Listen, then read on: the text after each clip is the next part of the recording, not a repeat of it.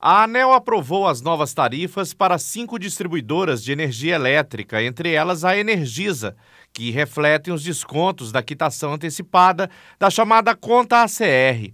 O cálculo da revisão tarifária extraordinária considera o abatimento da parcela do empréstimo na conta de desenvolvimento energético.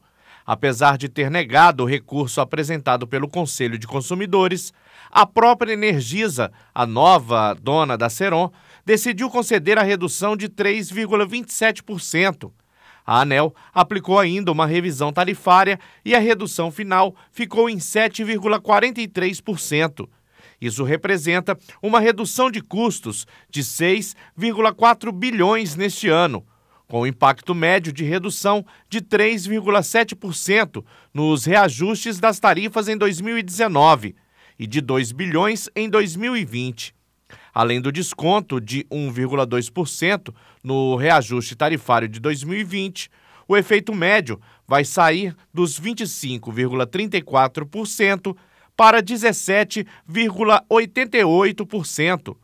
O valor do reajuste com um desconto de 7,4%, deve entrar em vigor a partir do próximo dia 1 de abril.